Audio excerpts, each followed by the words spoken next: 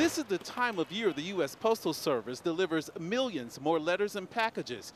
And this is Diane Dunaway dropping a large check payment in the mail, only to have it stolen. I was very careful and then to find out that they didn't get the payment, I mean, I was just, I, was flabbergasted.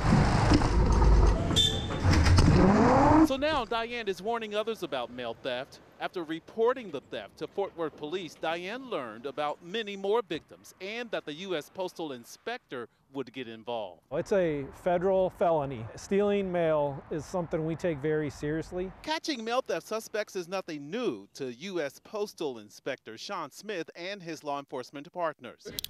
Sir, please don't hurt me, sir. You ain't gonna be hurt. Last Christmas season, Lake Worth police helped catch two men in the act burglarizing drop boxes. We try to do our best and we investigate it to the fullest extent to hold those individuals that are stealing mail. Smith says stay safe by retrieving mail from the box as soon as possible. Only use safe and secure mail drops. Report people following carriers to 911 and sign up for their informed delivery feature. It sends you an email every morning for the mail that you should expect to see in your mailbox that day. And I will never, ever, ever mail a check again. In Fort Worth, I'm Scoop Jefferson.